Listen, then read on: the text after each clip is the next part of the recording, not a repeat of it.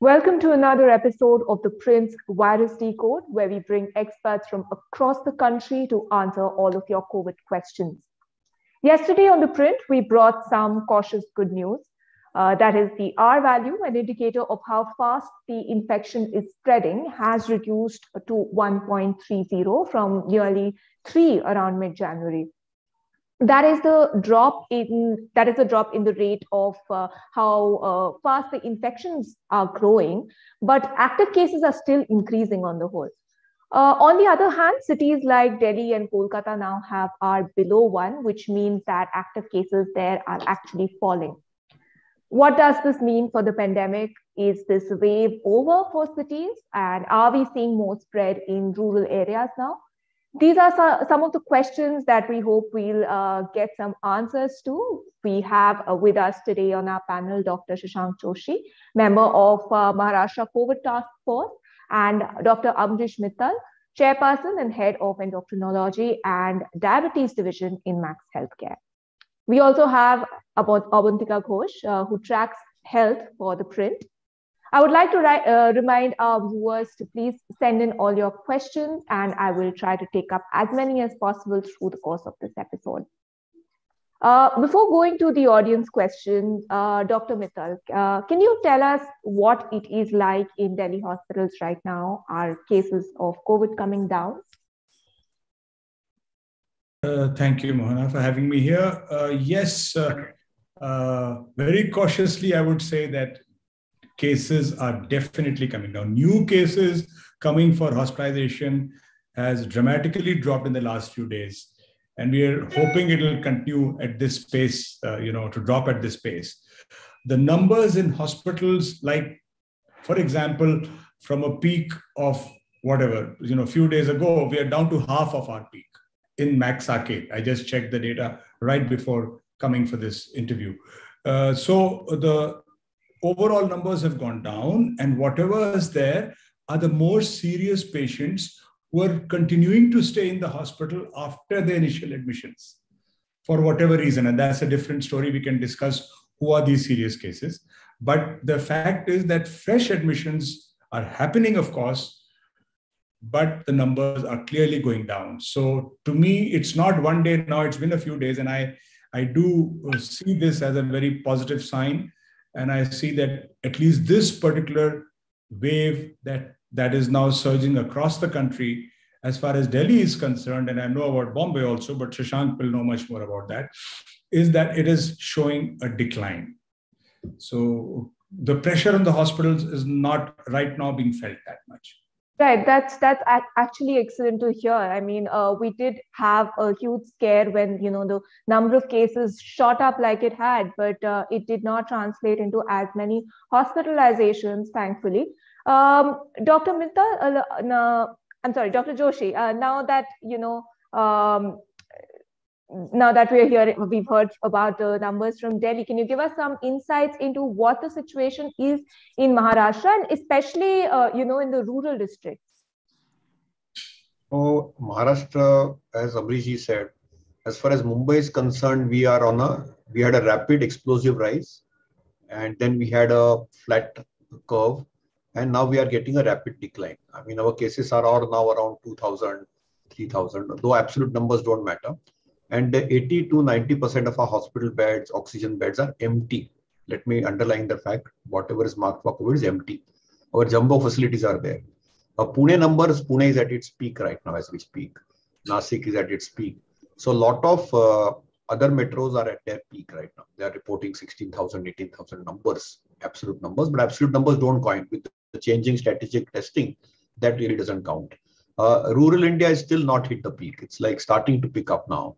So as far as Maharashtra is concerned, it's a very skewed pattern. And this is what we are going to see throughout this uh, third Omicron wave. We are going to see the large metros like Mumbai, Delhi, Calcutta coming out of it. Uh, we are going to see the neighboring regions, like just like you have NCR in Delhi, we have MMR in Mumbai. That's where now the peak has moved. And then it will move into the hinterland. So it, it will go phase wise. And the only thing is that in the past, we were able to calculate it. And there was a gap, like say Mumbai, Delhi had a gap of say two weeks. That gap with this Omicron narrowed, you know, within four to five days. In fact, I used to talk to Abriji He's a good friend of mine for the last 30 years, a mentee to many of us. And you know, he used to know exactly that when I tell him and send him a signal, uh, Delhi has to be ready in 10 to 15 days. This time it happened in four to five days. And mm-hmm. you know, this was the difference because of Omicron. And that's clearly the dominant uh, strain. Maharashtra has one problem, uh, which is that uh, we were having a thick tail of Delta and Delta derivatives. And it mm-hmm. still remains there, like Kerala, Maharashtra, northeast of India, and some parts of southern India. They still have that sticky Delta or Delta derivatives in the genomic sampling. And that's really the concern because that still is a little more sinister variant. Clearly, it's a more sinister variant compared to the Omicron strain. Mumbai data is out now. It's around 88% uh, is, is, is uh, Omicron and rest of it is the Delta derivatives. We still have around a few number of cases which are neither Delta nor Omicron. They are still having Kappa, which is a, which are variants of interest. So it's, it's a little different than North India. Actually, what had happened is the second wave had completely gone. So it was mm-hmm. like a virgin field Omicron got, and which is why the predominant strain which blasted out was Omicron, which is why Delhi went up steep and came down steep. So in Maharashtra, we'll see this is like a cyclone, which is uh, now, and the clouds were over Mumbai, they have receded and they have gone to MMR, and now they are going to the hinterland. That is how I can I, you can look at it. So clearly, it will go there another two to four weeks. So Maharashtra peak should be somewhere around first week of February. And uh, you know, by 15th of February, probably the hinterland will have its peak. Is is the is the feeling we have. But all these things will be a little uh, advanced by maybe five to seven days, and which is fine. But as I said, the as long as the healthcare infrastructure is not burdened, our numbers are clearly hospitalizations due to COVID. Mm-hmm. We have hospitalizations with COVID. Then we have oxygenation. Then we have ventilator. Then we have deaths. Current right. deaths are predominantly occurring in people with COVID with serious comorbid diseases, with serious 18 90% of our deaths, which are occurring, and we are having deaths. It's not that we don't have deaths. They're in serious. So they are COPDs who have got exacerbation. The other problem which has occurred now are two. One is that we had a dust storm, which is pretty bad. And uh, we had uh, a bad chilly winter, including places where there were rain, uh, freak weather, and a little bit of hail, uh, snow like hail, which never is seen in Maharashtra. And definitely it has impacted, and there is a tsunami of flu-like syndrome. So, you know, every COVID uh, is, is uh, you know, for every COVID, we are also getting flu-like syndrome and respiratory viruses are at its peak. Normally, we are not used to this type of a chill. Mm-hmm. Uh, Amriji was surprised in the morning once he asked me, you know, at 16 and 15 and 12 degrees, why are you feeling cold? I told him it is a chill, wind chill know, when we are all across the sea, the wind chill really is, is, is the one which is affecting. And it's also responsible for, to some extent, a bad sore throat. So obviously, symptomatic testing is a little more than what you anticipate. And uh, that's something which is happening. So this is where we are in Maharashtra. We probably we are clearly seeing a decline. Some other regions we are starting seeing a decline. Rest of the region is in peak rural India probably in Maharashtra at least will come in another seven to 10 days from now. Uh, one, I have one question, Mona, if I can just come in. Uh, when we talk about, you know, the numbers going up and numbers coming down, in the interim, there was also a change in testing strategy. Uh, is there any way these graphs are factoring that in, or at this stage of the pandemic, do you think it's just not important whether we factor that in? So if you ask my take on it, I don't think it is going to matter now. So absolute numbers really don't matter. We look at test positivity rate. Actually, with the changing of strategy, the TPR, we were anticipating it to go up. Yeah. And it actually didn't happen because the decline was very steep. So when the decline is very steep, you know, we, we, we did get a spot in between. You know, one or two days on a Wednesday, we got a spot and, you know, Twitter trolled me also for that, that, you know, I, I predicted something and it didn't happen because it's like uh, you know covid's one thing we know for covid is it's still predictably unpredictable. You know and that's the only thing which i can say for sure that it, it always tries to keeps on having these googlies which come in. But clearly abantika it's a very good question which you ask that we still uh, are clearly seeing a decline. And and mumbai delhi is almost almost in an economy you know. I mean i mean it's like virtually within four days after mumbai started seeing its decline you are seeing the flattening happening in delhi and now we are seeing a decline happening in Delhi. So it's like virtually, and, and both the cities can't go completely wrong. You know, so so you see, we are looking at that. Uh, we we do have uh, similar data from Bengal. I'm told it's equally bad, but we don't know the type of testing which is happening there completely in right. public domain. But I think it is also very similar, if you ask me. So so so I, maybe Ambrish has a point on this, but I think that I think we I don't have to go by those numbers too much. I think it's the hospitalization numbers which matter and the mortality which mm-hmm. matters. Yeah. Right. So quite clearly, uh, the testing strategy has rendered the numbers, total numbers, superfluous to some extent. It is not just the testing strategy, it's also the fact that a lot of people, after having realized that Omicron is not a serious condition, just don't test at all. They go around with a cough and cold and you know they just don't test at all. So that's a large number. And at least in Delhi and probably in Bombay also, the use of home rapid antigen kits has really gone up as the ICMR uh, made a statement that day, I think the DG ICMR made a statement that uh, they've sort of done 2 lakh uh, have been sold in January itself. That's which is very more. So that all those factors. So we're not looking at absolute numbers to be very honest. You know, we're not getting excited by the increase or decrease. But the positivity rate is a much better indicator. If you're testing predominantly symptomatic people, you should probably get a higher positivity rate. You know, but that is coming down. Plus, you know, on the ground, you talk to all your colleagues in all the hospitals quite clearly. I mean the numbers are coming down. They're just not getting that many patients for admission. And and in in in, in our hospital for example if you look at the patients who are sick or serious or even the ones who died actually came with very serious disease. Some of them were just found to be positive here you know advanced cancer advanced kidney disease stroke heart attacks. So which of course, we cannot say that COVID did not influence that, but they were just found to be positive on day two, day three of admission or something, and you know, you so they get labeled as as as uh, as COVID. An extreme example, let me give you hypothetical example. Someone has a road accident, road traffic accident, uh, has a major head injury, is wheeled into the hospital, and then a COVID test is mandatory, and you find the person is positive. The person has to go to the COVID ward because he's COVID positive so he gets labeled as a COVID sort of patient, you know. So what I'm saying is that not all, of course, there are some patients who got sick because of COVID, no question about that. But a fairly high proportion is also of those who were just found to have COVID, where COVID could have played some role, minor role, or no role at all. So that gives us a lot of confidence. You know, one is the data that's coming out, being uh, collated daily and put out, put together. But you know, on the ground, you know that the LNJP uh, chief also said that while deaths continue to be there, the overall deaths have not increased in the hospital. So, you know, maybe many of the people who are unfortunately dying would have probably succumbed to their accompanying illness or their underlying illness. So, that is a thing. It's not absolute. So, don't uh, uh for a moment think that I'm saying that it is not causing serious disease, but it is not common at all to get serious disease due to Omicron per se that's not common so that's why people are you know just i mean the other way around of course people have become so careless that's another story uh, no one's willing to do the isolation period for five days i mean it's it's very difficult to explain to people because they're feeling fine and you know kuch hota to hai nahi. So people just you know are spreading the the bug like anything all right. Um, so I have some, uh, you know, audience questions coming in. Abantika, I'll come to you. Uh, so Raj is asking, is Omicron detected with just the S gene dropout indication or are there more confirmatory tests?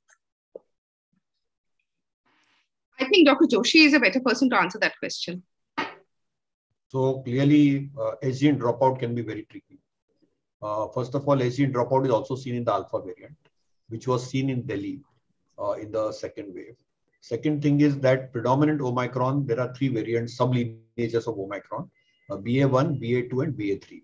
So the BA1 and BA3, uh, which is around 50 to 60% of Omicron, have gene dropout, but the BA2 can have gene presence.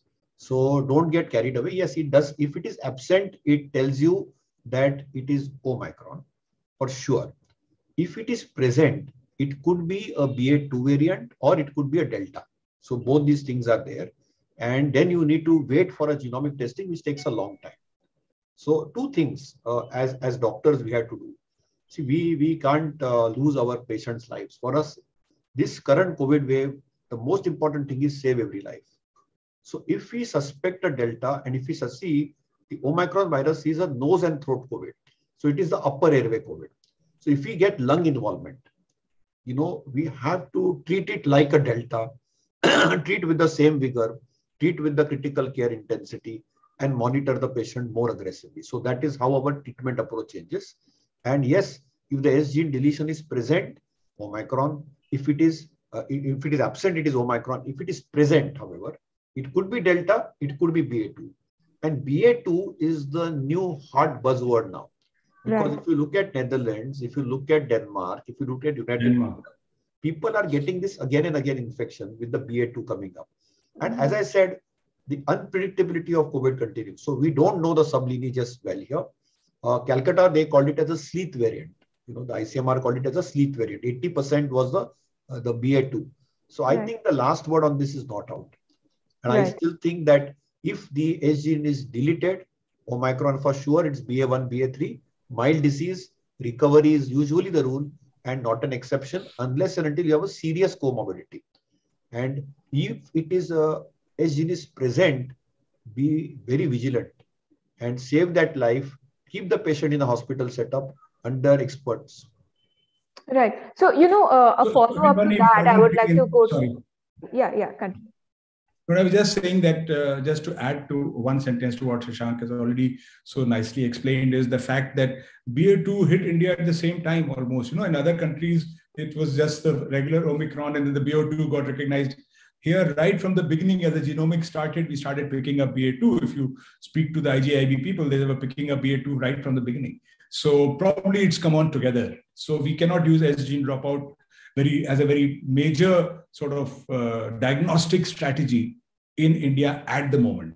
And of right. course, if you want to go further, you have to do genome testing, but that's that takes several days. Right. So, uh, you know, there were like, uh, there are several kits that were uh, uh rolled out for this uh, S gene dropout test to sort of screen for Omicron. So I just wanted to follow up on this, you know, discussion uh, with you um, with this question that is the diagnosis, is this treatment different for those who are uh, infected with Omicron? Is there some sort of a screening going on to detect uh, or to differentiate these patients from those who are being infected with Delta?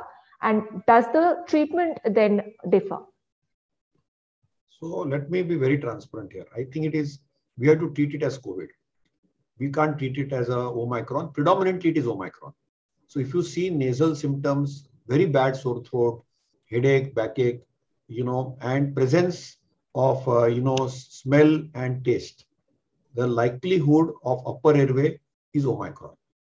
If you have a lack of smell and taste, uh, you have shortness of breath, uh, you have a desaturation, you have a lung involvement, the likelihood of it being delta cannot be ruled out in geographies like say in Mumbai or, or Maharashtra or maybe in Tamil Nadu or maybe in Northeast, but may not be in Delhi because I, I think that Delhi, it is overwhelming data that 95% plus is Omicron.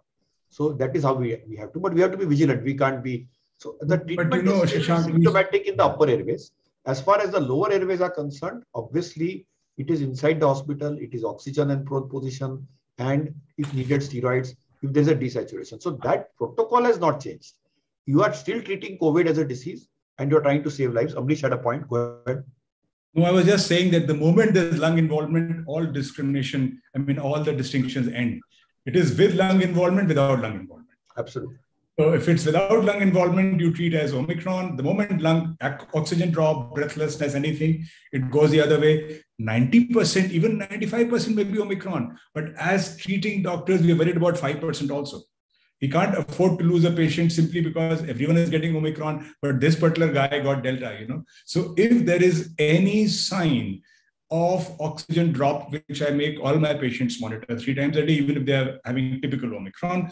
If there's any sign of breathlessness, any pneumonia type of signs, that means something more is happening. Rather than at that point figure out whether it's Omicron or Delta, you go down the lung path and you treat with the whole gamut of uh, treatments available to you. So no risk there.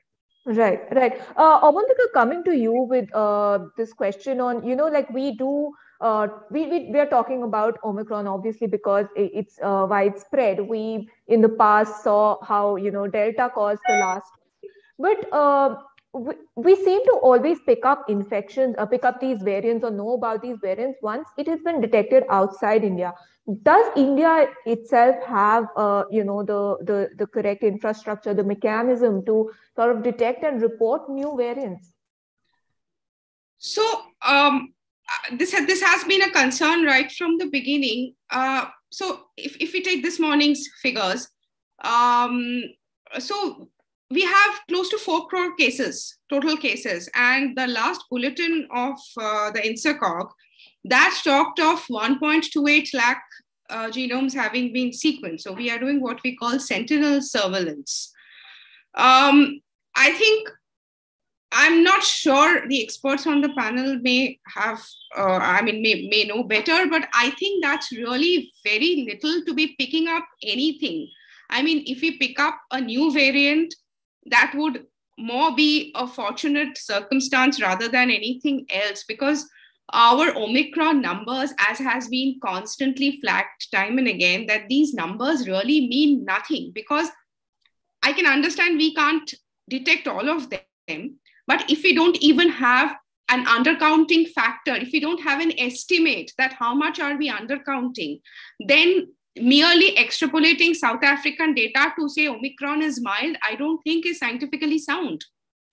So, um, uh, the genome sequencing, the, the sort of the pace of genome sequencing, the lack of adequate sequencing has been flagged many times. And um, yes, it is correct that it does not matter to the individual patient. It's on the doctor's clinical uh, sort of judgment what to do, what not to do it does not matter to me whether I am Omicron or Delta, but it does matter to a country's understanding of the disease, a country's assessment of the disease, uh, whether this many people are Delta or Omicron or something else. And I think, leave alone a new variant, I think we are not even doing enough to detect the ones that are currently circulating. For example, somebody actually asked this question on Twitter that do we know which are the geographies where Delta is still around? Do we know which are the geographies where Omicron is still around? Do we? I don't think we do. Sort of to say emphatically that these are the places. So I think there's a lot to be sort of bettered there. Right. Even the uh, the way that I think you know, samples are... point. Mona, I think you know Bandika made a very pertinent point. I'll be a little more blunt here. I think we are grossly under testing. See, at least 1% of the total strength, at least 1% should be tested for genomic testing, at least 1%. I, I think we're just not there. Let's be very transparent. Uh, there are multiple reasons for that, and I, am going to give you the Mumbai example. See, the point is that, uh, you know, we have last eighth uh, genomic sequence report, we have a nanopore at Kasturba Hospital. We have a nanopore at BJ Medical College, which is where we picked up Delta. See how the Delta started everybody dismissed it. And it we, we lost the month of February and March till we got the exposure of Delta. And we have that in example. INSACOG definitely needed to upgrade its values. They have done their best. Now we are stretched. So I'll tell you how it happens. We have tested in, in Mumbai 360 samples. Out of the 360, 320 are Omicron. Rest are Delta derivatives. Only five are Delta, original Delta. And rest are others in which we still have a kappa there. So it is not very, very clear whether a new variant of interest or new variant of concern will come. And we don't know whether it will come. Even WHO has not written this off. And I don't want to send a panic here at all. But from a science standpoint and from research center standpoint, we need to do sufficient sampling. We have excellent CSIR and ICMR labs. We definitely have a lot of labs like TIFR in Mumbai. We have nanopores in BJ Medical and, and uh, this thing.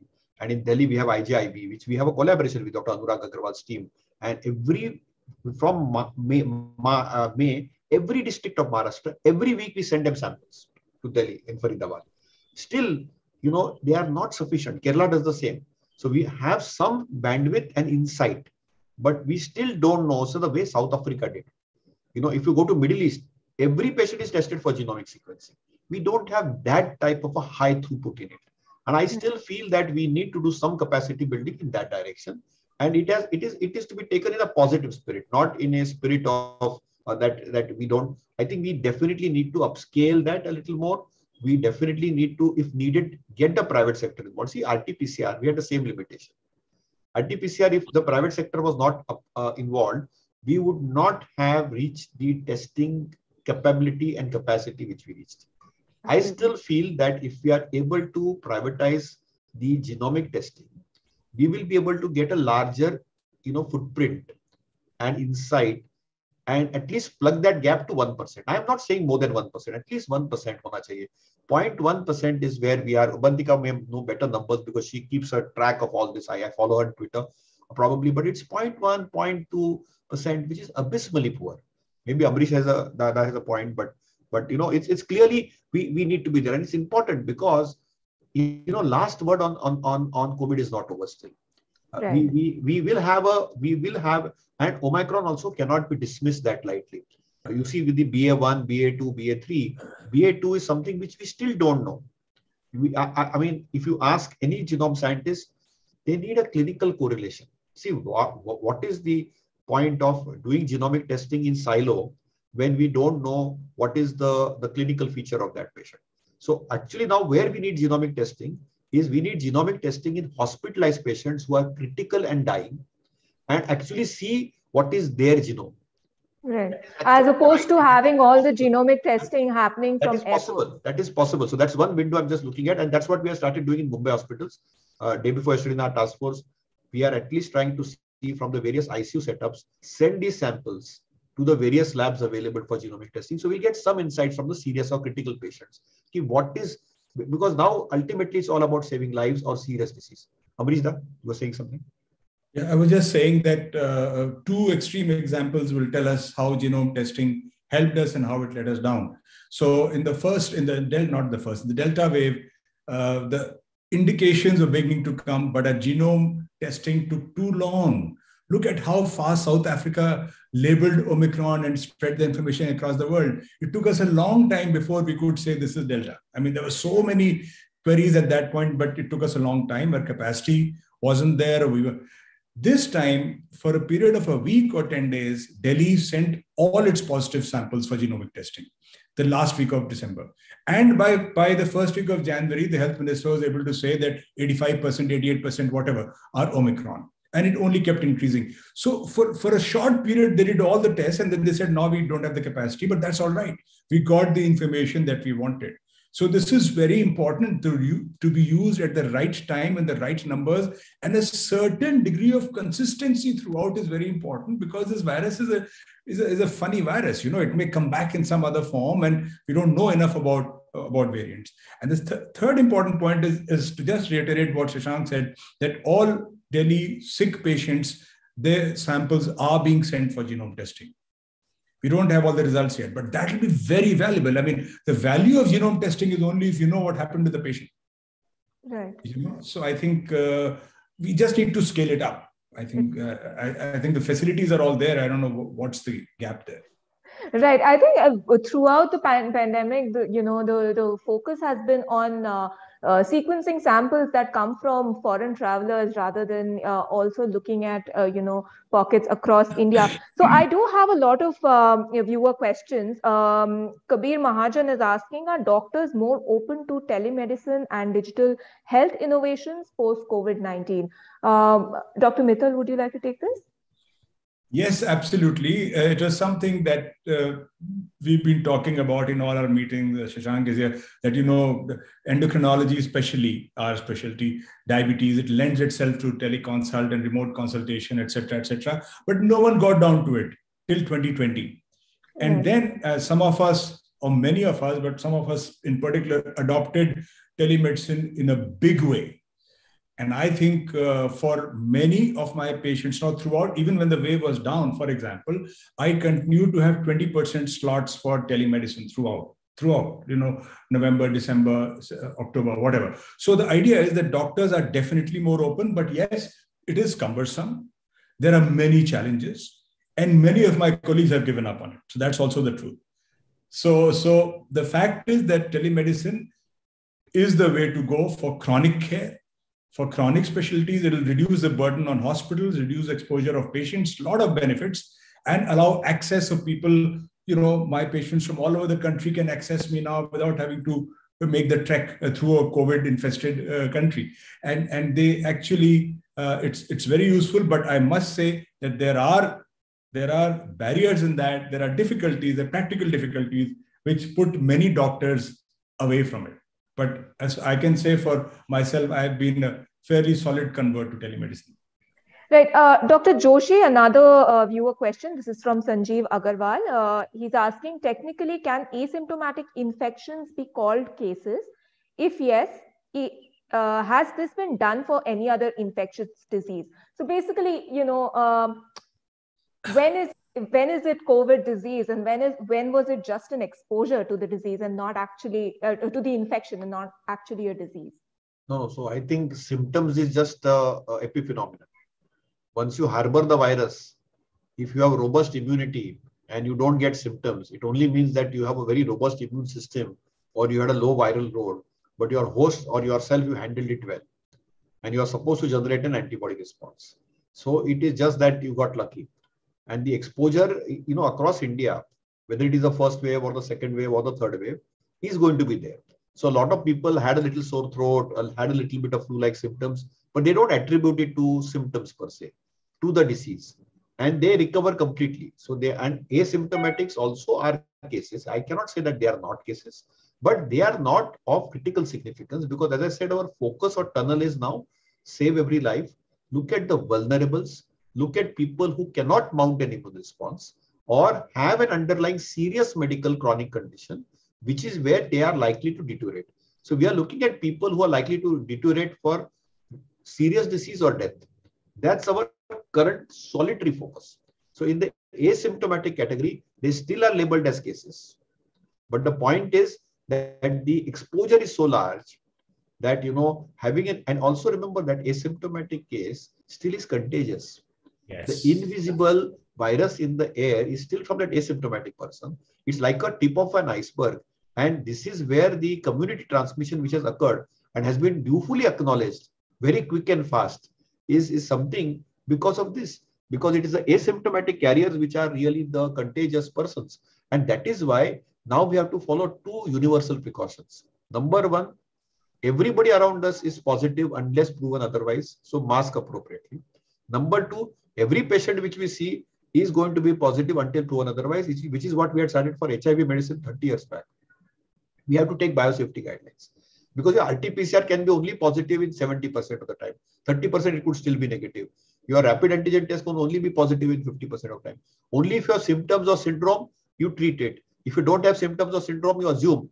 And also, if you have to go out on the day five, you could still, or seven, you could still be harboring the virus and transmitting the virus. But it is the onus on the citizen to please appropriately mask with a proper N95 or a three-ply surgical mask over your cloth mask so that you don't harm your family members or your colleagues and don't keep the virus in circulation. So I think the asymptomatic should not be dismissed.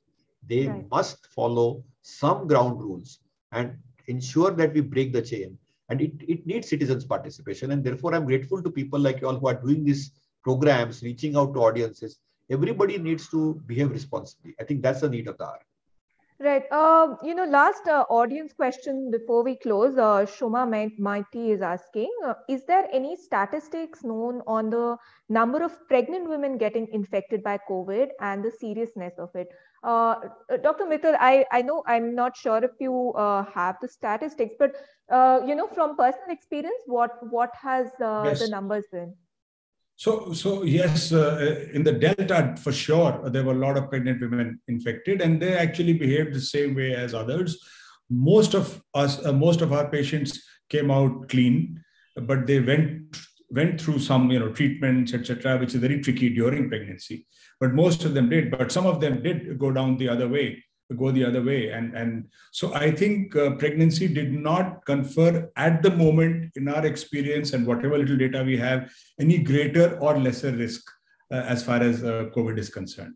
Uh, Omicron, of course, I think, as, as I will just reiterate the point quickly, that because people are not getting symptoms and because guidelines says CDC says five days, seven days ICMR, people conveniently forget that they need to be masked around everybody, including at home, for several days after that That is the point that people forget. You know, once you're free, you're free. You need to have that thing on for at least 10 days from the test, maybe even 12 or whatever. You know, what we are finding with rapid antigen test, many of our patients, older, many of our patients are older, diabetics, and they're only turning negative on day 12, day 11, like that. So there is no harm in abundant caution. Right. And masks are going to be here to stay, are, are here to stay. So please make sure that you don't just give up completely all precautions. Right. Abantika, quickly coming to you, uh, you know, I, I just want you to uh, go over what is happening in the poll bound states. What are the numbers there like? Uh, mm-hmm. You know, cause any cause for worry from there. So one cause for worry that I immediately see is that Uttar Pradesh uh, testing is down 19%. Uh, and Punjab testing is down 24%. Um, this is this is as as per the latest state bulletins. So that I think is a cause for worry. Um, vaccinations in Manipur are a cause for worry uh, because they are quite low. There's there's quite a bit of vaccine hesitancy there. Um, uh, uh, all the poll bound states are actually on are on a vaccination deadline 31st of january they need to um, vaccinate at least with a first dose or their entire uh, eligible population.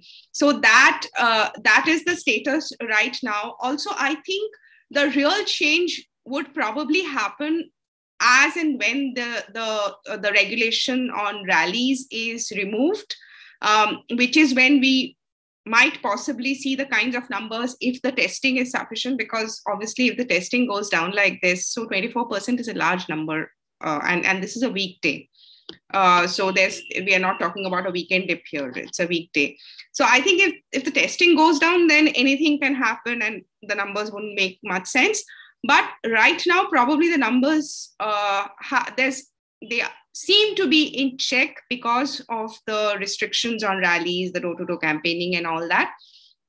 But I'm sure at some point of time when the rallies open up, that's when the real test is going to happen. Because as we have seen multiple times, uh, Indians are, are, are Indians firmly believe that nothing can happen to them. So we will not mask up. That is that is something that's been proved throughout this pandemic. so you need, Avantika, you knew this before the pandemic. Uh, you know that we only wear seat belts when there's a risk of getting uh, penalized. We only wear helmets on a scooter if there's a cop uh, who's right. So right. we are very uh, we are a risk-taking ability is remarkable.